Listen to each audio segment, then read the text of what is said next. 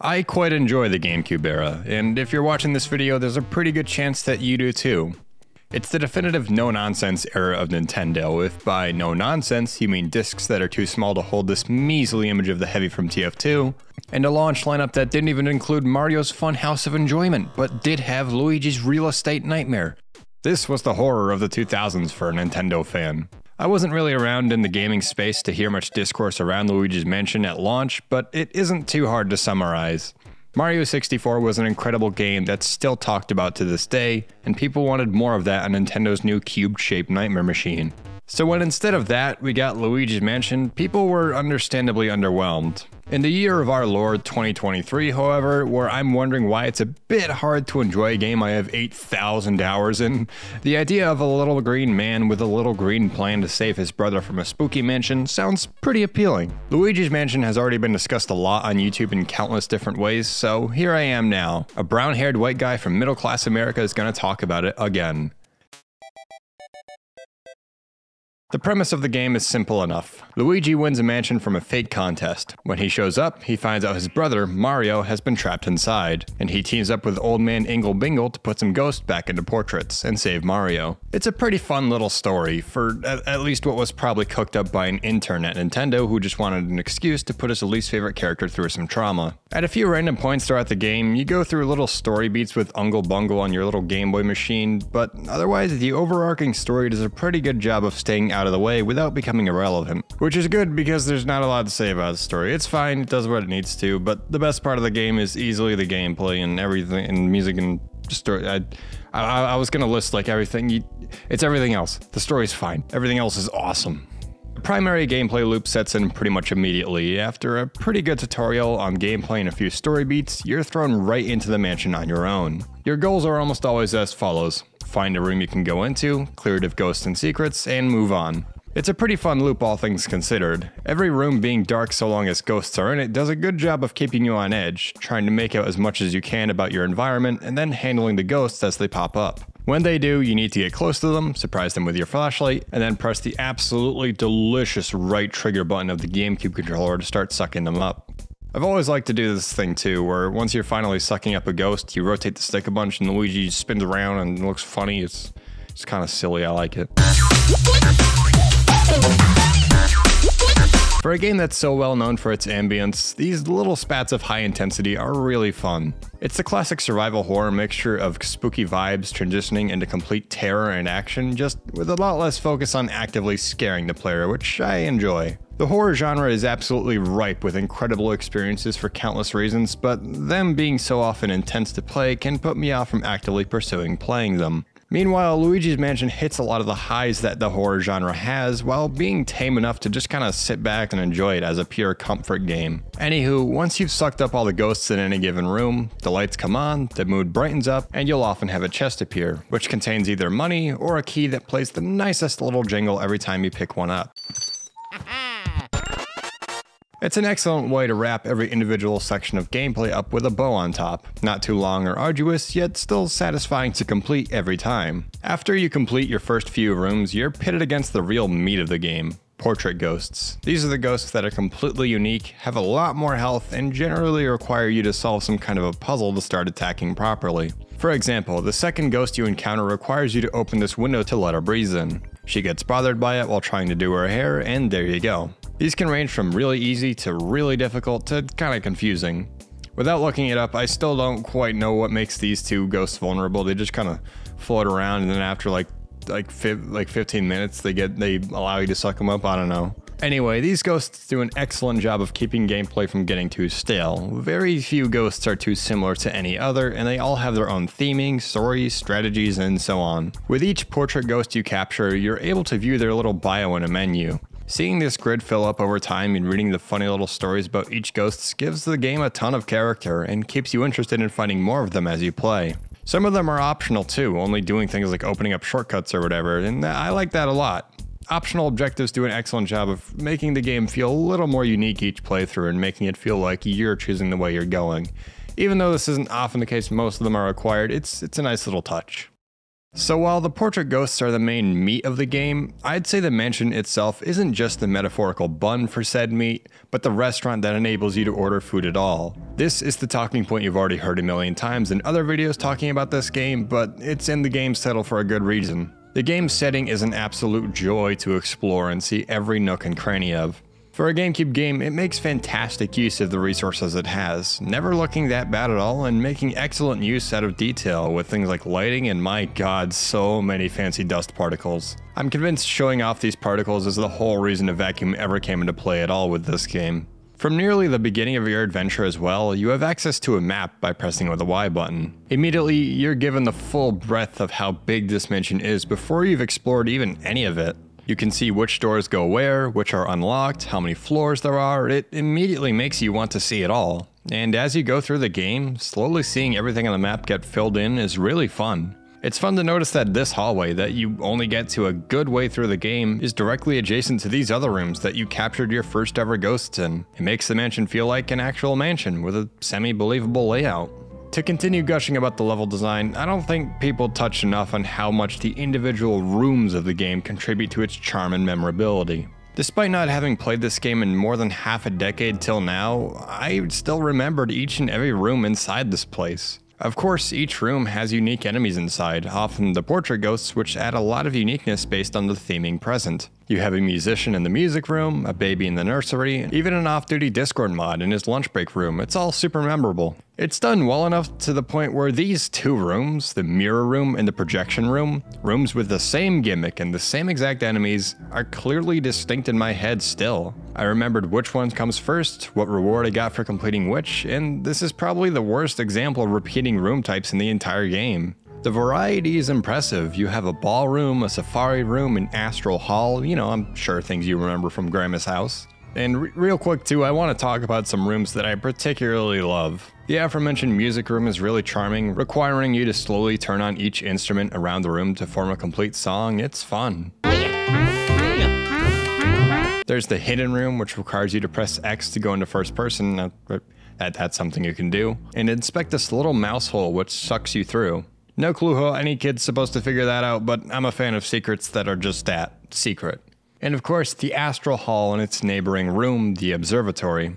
The former is just a cool little room with some basic ghosts to fight, but the latter is probably my favorite room in the game. After looking through this telescope, the right portion of the room vanishes and reveals the moon alongside some falling meteors? You eventually put together two things that you're supposed to shoot the moon with these meteors, and that, goddammit, for the first time in your life, you wish you could put some iron sights on a vacuum cleaner because this thing is really hard to hit. The moon explodes, naturally, and reveals a path made of light to collect an item.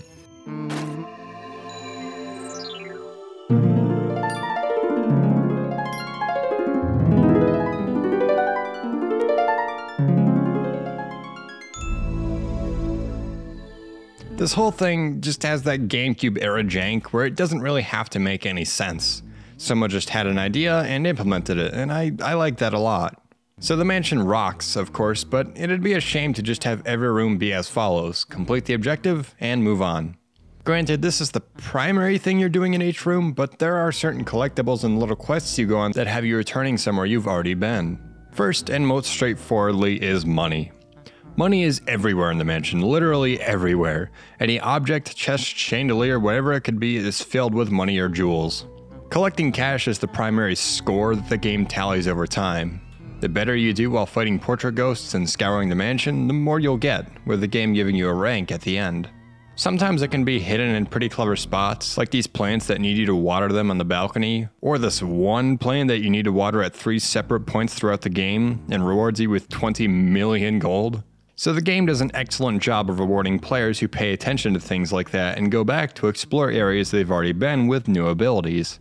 New abilities that you often obtain by finding these element medals three different medals that, when attained, allow you to use one of three powers fire, water, and ice. After you get each of the medals, you can find each of the elemental ghosts in relevant locations. Something like a campfire gives you fire, water faucets or shower heads giving you water, and a fridge or bucket of ice gives you ice. These elements can either be used to solve puzzles or to fight ghosts, especially elemental ghosts, which require you to use a certain element before fighting them. Fire beats ice, ice beats water, water beats fire. They're a pretty alright method of giving the player new mechanics to play with, though they aren't used for puzzles that often. Once in a while there's a door on fire for some reason or something. It's not too common, but it's a nice little addition. The final type of item you collect throughout the game are quote unquote Mario's items. Items that you find around the mansion in certain locations. On their own, they have no use to you, but when you bring them to this one portrait ghost, a unique one who's friendly and actually wants to help you, she can use her fortune telling abilities to give you status updates on the whereabouts of Mario and how he's doing. They're a fun little method of reminding you why you're in this mansion at all, and having a friendly portrait ghost to return to here and there is good. It's very nice to have a familiar face in the mansion that isn't just a toad. After you find all five of Mario's items, however, they recognize that they can't help you any further and actually want you to capture them to help you along your quest. It's not a tear jerking moment or anything, but it's a nice little touching moment to see one of the few friendly faces you've met so far so willingly go down just to help you out. So, those are all the items you find around the mansion, but the real reason you're finding yourself running around more than you'd expect are the boos. In this story, the Boos are the real bad guys who released all these portrait ghosts from the paintings that Old Man Dingle Bingle had. You're first introduced to them a little bit into the adventure after solving a puzzle that seriously had me stumped as a kid. There's a button here in the wall that you can only see in the mirror. I, it, it took me legitimately hours to figure this out, I swear. Once the boos are released from this little trap, every primary room that you brighten up will have a boo hidden inside of it, which you can find using your boo radar. The radar beeps faster when you get closer to a boo is hidden, and once you inspect the object that they're in, it's a matter of keeping your vacuum focused on them till their health reaches zero. It seems straightforward, and oftentimes it is, but boos are unique in that they can change rooms. If they escape you and fly into any of the walls of a room, they'll move to whatever location was beyond that wall. It's a really interesting mechanic that tests your ability to remember what is where, but my god. Anybody who's played this game before knows the pain of having a boo fly into a wall that not only takes them into another room, but a whole different area. In this clip here, the boo flies to the room south of me. Technically speaking, it's only one room over, but for me to get there, I have to run halfway around the goddamn mansion to get there. Personally, I, I, find that while this can be kind of frustrating, getting around the mansion is fast enough to where it really doesn't take too long to get where you need to go, so it isn't a huge deal. But it still does kinda suck especially when they fly into a room that you don't yet have access to. But even then, it gives me those janky GameCube vibes that I mentioned earlier. Maybe a perfectly polished, modernly refined game wouldn't ever have something like this happen, but the fact that it can happen is both pretty funny at times and just feels earnest, for lack of a better term. These ghosts hate my ass, so the idea of them avoiding inconveniencing me for no particular reason would be a little bit funky, so whatever, it's fine. This only really happens that much with the later boos in the game as well, which have up to 300 health at times, whew. But hey, it's the end of the game, that's how it goes. Next, because I'm kind of bad at transitions, I just want to touch on some of the more prominent events throughout the game following a general order of progression, because some stuff is a bit weird to organize in a video like this. The first boss of the game, a dead baby, is pretty straightforward, but does a good job of introducing you to the much higher scale of boss fights in the game. And beyond that, the whole first area of the game, that being everything before you beat the first boss, is really short compared to every other area, but I kinda like that. You've got just a straight line of rooms to complete, two very simple portrait ghosts, and it's boss time. In my playthrough for this video, I went from file creation to first boss in the span of barely over 20 minutes. The whole thing could easily be considered a tutorial, but because it's treated as its own whole area instead, it doesn't feel like one at all. Area 2 entirely rotates around this one big hallway here, with a lot more going on in it than Area 1. You fight a portrait ghost and free some boos soon after, enabling you to capture them both in new rooms that you open up, and also back in the rooms that you've already cleared in Area 1. Just as that's finished, you'll probably notice a few things in the main Area 2 hallway. There's this weird floating candelabra, some music coming from a random room down the hall, and this godforsaken sound coming from this room here. I really like these little touches that pique your curiosity and make you look forward to finding the next key, seeing if it'll solve any of these random little mysteries. The boss of Area 2, Bogmire, is a weird one. I find his design to be cool as hell, being a really unique looking ghost among otherwise humanoid forms they often take. There isn't a whole lot to say about him, but he's got a pretty threatening presence during the fight, with these long shadows to indicate his location and discolored clones that chase you around. After the fight with Bogmire, you gain access to the courtyard and the rest of Area 3. The courtyard is a personal favorite area of mine, introducing you to a more subtle version of the game's main theme that appears in only a few other areas. Here, you also find a well, with an almost ghostly scream of Mario coming from the bottom. It's got great ambience.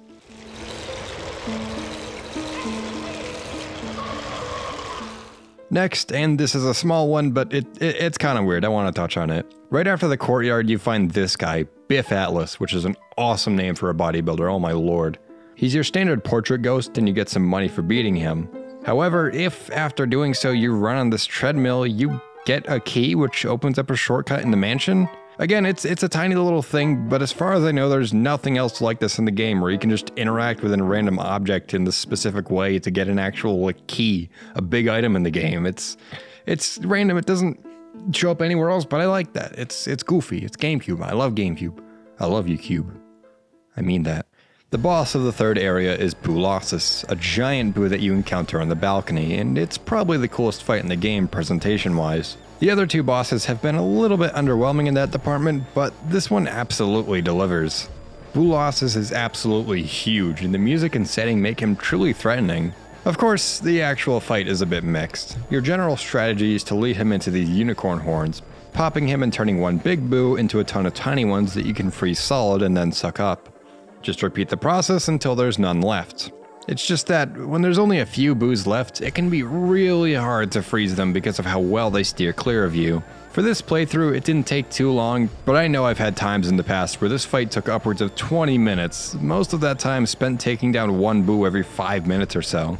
But all that all, all that jank is fine because after this moment, oh god, it's the game's strongest moment easily. After getting the next area key, turning the ghost back into portraits, and returning to the balcony, you find the door that blocks your progression. But as soon as you unlock it with the key you got, this happens.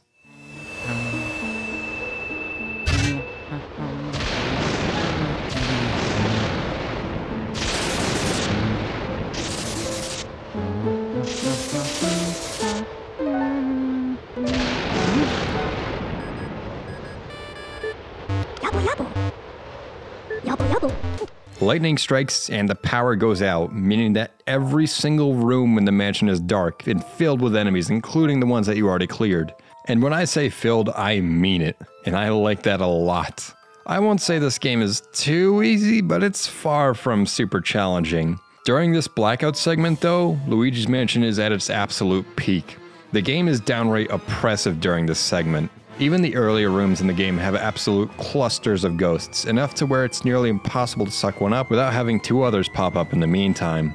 Moments like this only happen a little bit in the game otherwise, but I really can't stress how much fun this game is when things go to chaos. When you're trying to flank two ghosts and get them hooked, only to have another one spawn and force you to reposition yourself with a control stick, all the while trying to use the same stick to try to whittle down the health of the other two you're sucking up right now.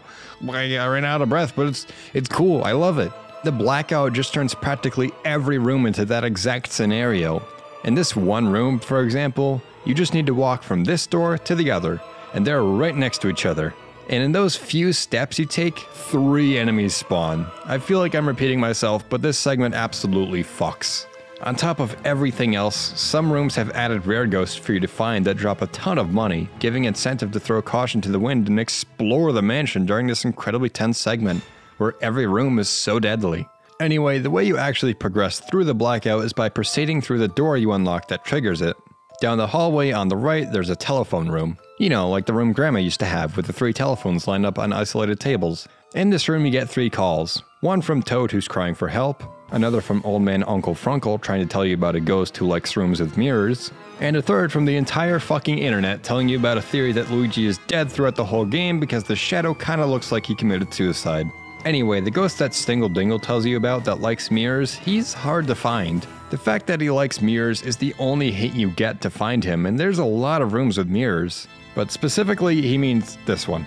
Not any of the others, not the room with a giant mirror in it, then ah, this one. I think Nintendo just couldn't think of a better way to tell you how to go to this specific room without saying it outright or something. Anyway, in that room, you fight a spooky guy, get a key to a room that was unlocked before the blackout, and go there to turn on the breaker and restore power to the mansion. The blackout isn't too difficult of a section if you go to exactly where you need to as fast as you can, but it's such a stupidly cool way to change the pace of the game. Like I said, Luigi's Mansion generally doesn't go crazy hard on the difficulty or scares, but this segment does so much to prove that it can if it wants. Even as a 20 something nowadays, I got genuinely tense playing through this segment for this video. Anyway, after the blackout, Area 4 takes you primarily to the highest and lowest floors of the mansion, and there are two segments of note. First, these guys. Most portrait ghosts aren't too hard to deal with, with a few minor exceptions. The ice guy can be a bit scary and the Discord moderator shoots fireballs, but pretty much none come close to the toy soldiers. After turning on all of these little clocks, all three of them activate at the same time, and they all have 100 health each. And while you're attacking any given soldier, any of the other ones still left on the ground can attack you freely, and they have a damn potent attack with their toy guns. It really isn't like awful, but if you get unlucky with these guys, you can easily see your first game over here.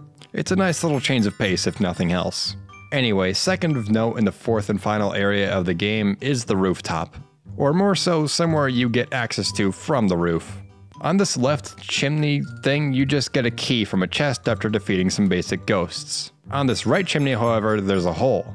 If you fall into said hole, you end up landing here, the sealed room. At first, it isn't obvious where you are, since, as the name implies, the room is completely sealed off from the rest of the mansion. But if you open up the map and connect the dots, you realize you're on the other side of this blockaded door from Area 3. It's not a massive moment or anything, but it's just a great example of the countless things this game does to make you say, oh, I get it. It's a feeling humans have chased for the past couple hundred million years. We went from prehistory to the Egyptians to the Romans to Luigi's Mansion, just as God intended. The final act of Area 4 is when you finally confront the true terror of the mansion, the French. It's after this fight that you're also able to capture the last of the boos in the mansion, with all major rooms now being lit up.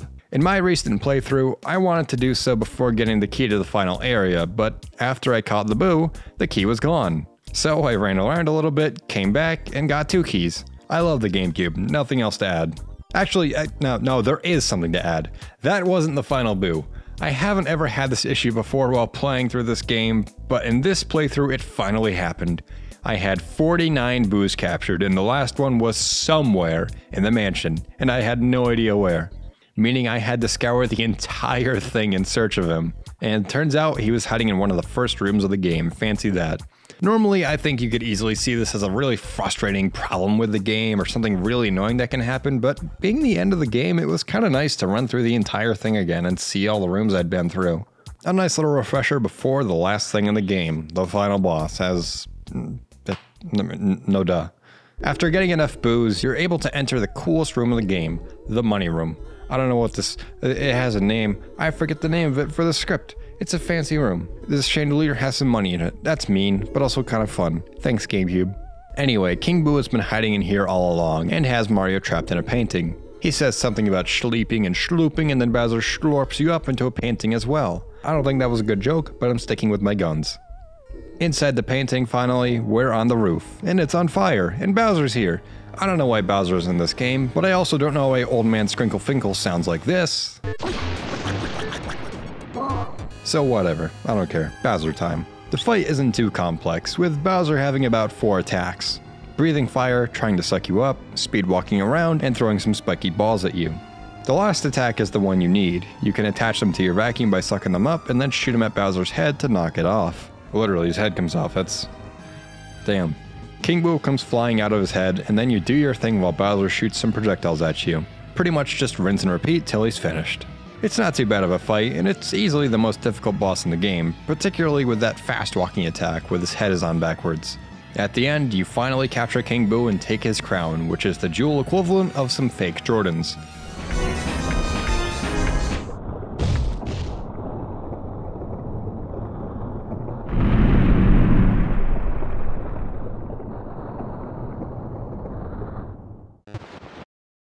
Hmm?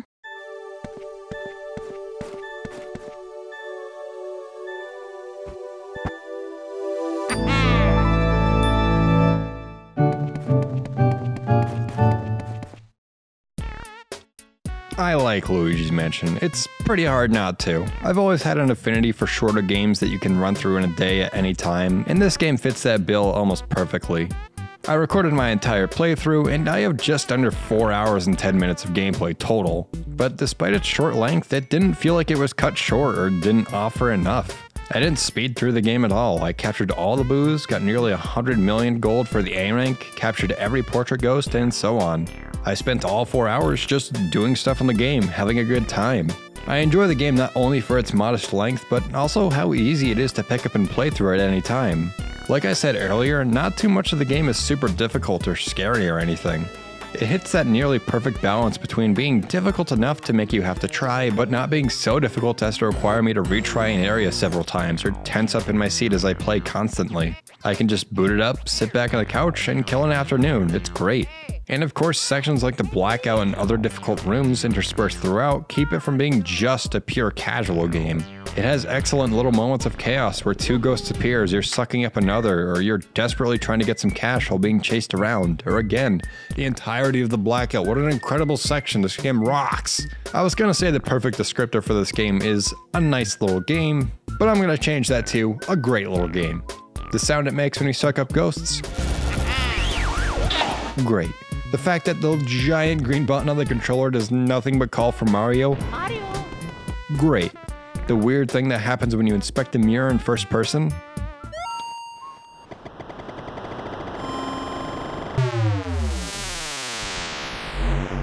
Great. Great little game. You should play it if you haven't. I might make more videos like this if people like it. It was very fun to make. I don't know if I have anything significant to say in this video. I don't know if any of it's too new, but hey, I love this game. I want to share it. I'll talk. Uh, if you like it, I'll talk about more games that you probably know about. I'm sure a lot of you will like the games that I have planned for kind of making videos like this about. Anyway, goodbye.